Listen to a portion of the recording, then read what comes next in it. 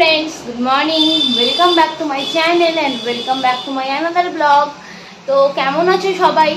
আমি খুব ভালোই আছি। তো চলো আজকের ব্লগটা শুরু করা যাক।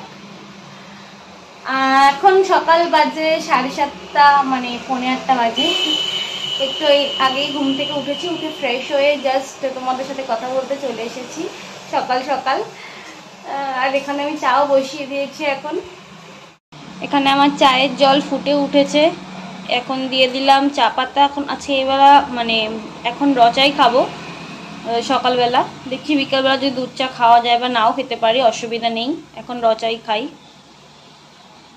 তো রেডি হয়ে গেল চা, চলো খেয়ে নিই তো আমার ব্রেকফাস্ট রেডি হচ্ছে, আমার ব্রেকফাস্টে আজকে আছে চিড়ের পোলাও। এখনও রেডি হয়নি আর একটু পাঁচ মিনিট টাইম লাগবে। তো চলো আগে বানিয়ে নিই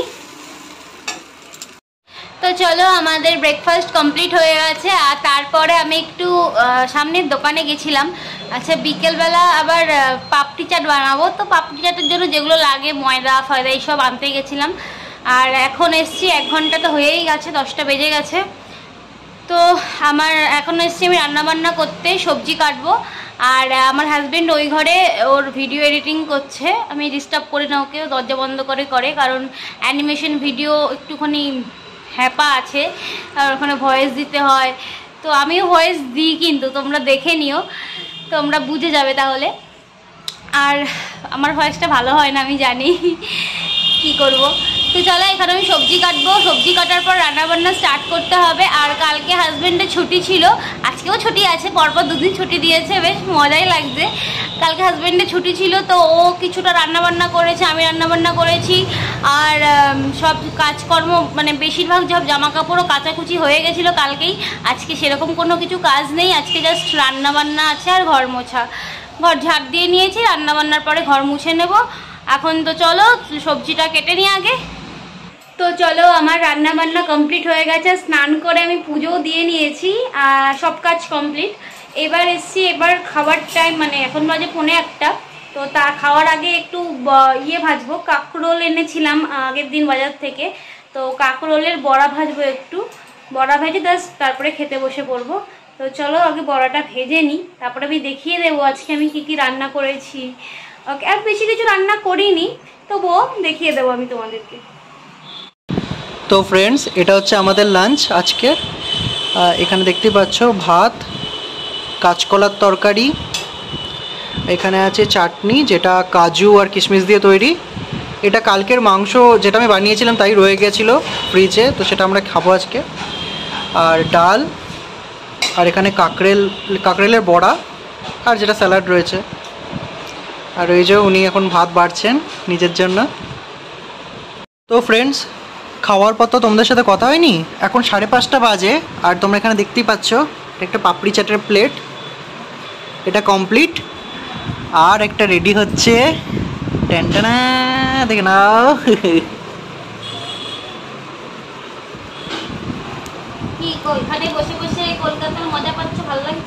হ্যাঁ ভালো তো লাগবেই। তুমি এত রান্না বান্না করতে পারো।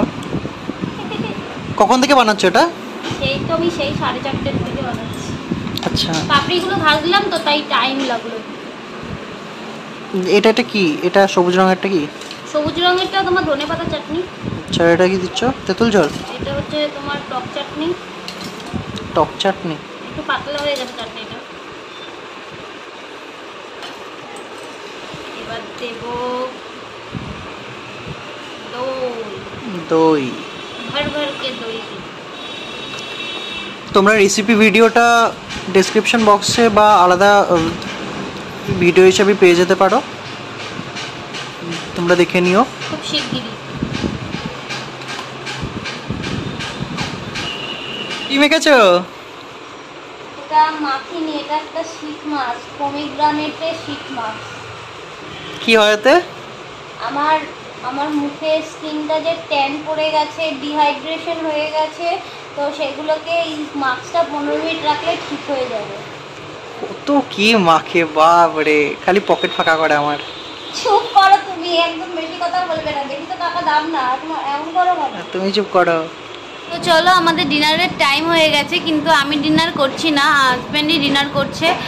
আর ওকে একটা ডিম ভেজে দিয়েছিলাম আর কাঁচকলা তরকারিটা তো ছিলই।